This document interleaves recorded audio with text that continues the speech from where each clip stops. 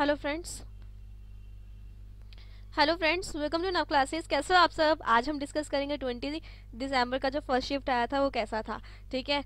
और उसके आंसर्स भी मैं आज डिस्कस करूँगी बिकॉज़ आज मेरे पास क्वेश्चंस हैं. सो so, अगर आप मेरे चैनल में न्यू हो तो प्लीज़ सब्सक्राइब कर देना और बेल आइकन को दबा देना ताकि नोटिफिकेशंस मिलते रहें आपको. फ्रेंड्स मैं अन अकेडमी पर वेरीफाइड एजुकेटर हूँ। आप अन अकेडमी के लर्निंग ऐप को कर लीजिए डाउनलोड और वहाँ पे सर्च कीजिएगा नवदीप कौर और सर्च करते ही मेरी प्रोफ़ाइल में आकर फॉलो ज़रूर कर लीजिएगा ताकि आपको यहाँ पर आ, मेरे नोटिफिकेशंस मिलते रहें। और आज मैंने डिस्टेंस स्पीड और टाइम वाला जो कोर्स था लॉन्च कर दिया है आप इसको ज़रूर देखिए ठीक है? ताकि अगर आपकी शिफ्ट में आए तो आप कर पाओ। आपको पता है ऑलरेडी दो शिफ्ट में आ चुका है इसलिए मैंने लिंक शेयर कर दिया था कम्युनिटी टैब में वहाँ से आप देख सकते हैं। रिव्यू ज़रूर कीजिएगा कि आपको कोर्स कैसे लग रहे हैं। सो so, चलो समझते हैं लर्नर्स के एनालिसिस कि पेपर वन ठीक था बट थोड़ा सा वो टाइम स्क्रॉलिंग करने में इनको इशू आया।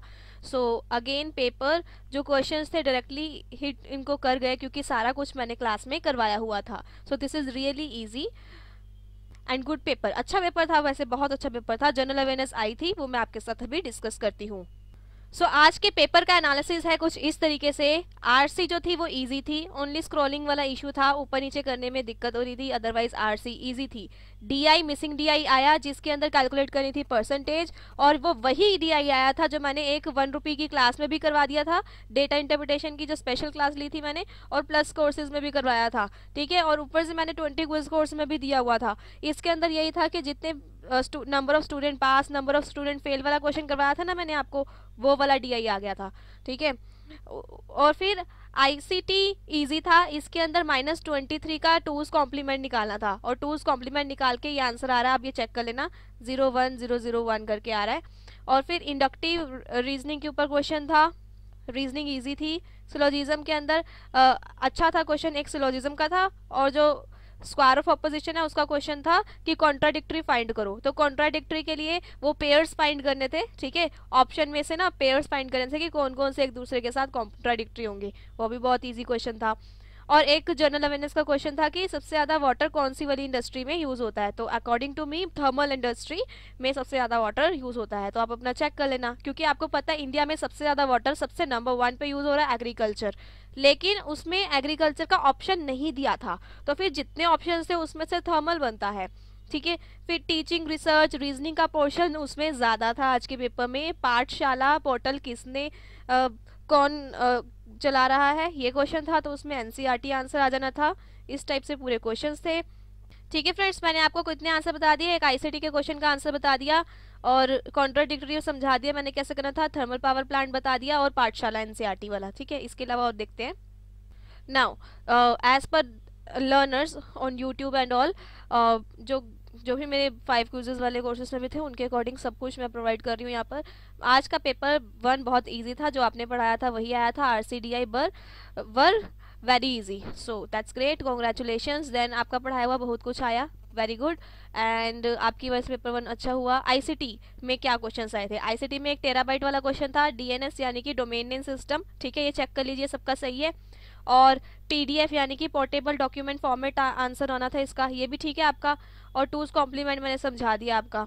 डीआई आपके वाला ही आ गया। वेरी गुड मतलब मैंने जितने डीआई दिए हैं ना अपने क्विज कोर्स में और हर जगह, सभी कोर्सेज में, वहीं से आया है। तो आप देख लो। ठीक है? बहुत बेस्ट है। अगर आप कोई 2019 की भी तैयारी कर रहे हो तो उन लर्नर्स को या अपने जूनियर्स वगैरह को ज़रूर बताना कि मेरा कोर्स ऑलरेडी लॉन्च हो चुका है। अब इनिशियली उसकी फ़ीस कम होती है तो if you want you can join ठीक है? ऑन होल पेपर वन बहुत अच्छा था। बात करती हूँ मैं पेपर टू की। तो कुछ जो स्टूडेंट्स हैं पेपर टू के, वो कह रहे हैं पेपर टू में जो कंप्यूटर साइंस का पेपर था किसी का आज पेपर टू वाला, उनका थोड़ा सा लगा कि ऐसा नहीं है पैटर्न फॉलो नहीं हुआ, उन्होंने जो बताया पेपर टू का, आप पूछते हो ना मैं बता रही हूँ। पेपर टू का सेम पैटर्न ये नहीं फॉलो हो रहा स्ट्रक्चर्ड वे में कि इतने इतने क्वेश्चन यहाँ यहाँ से आएँगे, कहीं से भी कुछ भी पूछ रहे हैं पेपर टू में भी। प्रीवियस ईयर से ऐसा कोई मतलब ये नहीं है कि प्रीवियस ईयर आपने देख लिया उसके अंदर पता चल गया कि यहाँ यहाँ से क्वेश्चन आ रहे हैं। ऐसा कुछ नहीं है। जैसे पेपर वन का पैटर्न कहीं से भी कुछ भी उठ के आ रहा है, बिल्कुल वैसे ही पेपर टू का पैटर्न कहीं से भी कुछ भी उठ के आ गया है। बट इसमें पेपर टू में आज इनको थोड़ी सी दिक्कत हुई अदरवाइज़ पेपर वन तो ऑसम गया है and I am so happy about that उसके अलावा फ्रेंड्स हम लोगों ने ये जेआरएफ बूस्टर करके एक गिल्ड बनाया है। इंडिया के टॉप एडुकेटर्स हम सब मिलके इसके अंदर पढ़ा रहे हैं। ठीक है तो आप इसके अंदर वन स्टॉप सॉल्यूशन है paper one and paper two आपको कराए जाएँगे। यानी कि एडमी में जे बूस्टर को फॉलो कर लीजिए, ठीक है? और आज मैंने डेटा इंटरप्रिटेशन का कोर्स यहाँ पर लॉन्च कर दिया, जिसमें है पाँच क्वेश्चन और एक प्रैक्टिस क्वेश्चन आप मुझे बताना किस किस से प्रैक्टिस क्वेश्चन हो गया है। अपने ऊपर बिलीव रखो, आप डेफिनेटली अपनी मंजिल को पा पा सकोगे जस्ट बिलीव करके एक्ट करते चलो और आप अचीव कर लोगे। All the best I am so happy कि पेपर बहुत अच्छा आ रहा है और मेरे कोर्सेज में से जितना मैंने पढ़ाया, वहाँ से आ रहा है। फ्री कोर्सेज में से भी बहुत हेल्प हो रही है। सो दैट्स ऑसम और लास्ट में मैं यही एडवाइस दूँगी टीचिंग रिसर्च और रीजनिंग के ऊपर कमांड रख लो, जिन जिन का पेपर बचा है इन तीनों कैटेगरी को अच्छे से कर लीजिए। टीचिंग में से भी कंसेप्ट बेस्ड क्वेश्चन है, ऐसा कोई नहीं रट्टा मारने वाला किसी बुक में से उठ के आ जाएगा। बुक में से कोई लैंग्वेज नहीं आ रही है, ठीक है? कंसेप्चुअल क्वेश्चन है। सो नव क्लासेस देखते रहिए, यहाँ पे ज़रूर फॉलो कर लेना फेसबुक पे जाकर ग्रुप ज्वाइन कर सकते हो सब्सक्राइब के साथ बेल आइकन को दबा दीजिएगा, अपने फ्रेंड्स के साथ शेयर कर सकते हैं। Thank you have a nice time all the best जिनका भी एग्ज़ाम है नेक्स्ट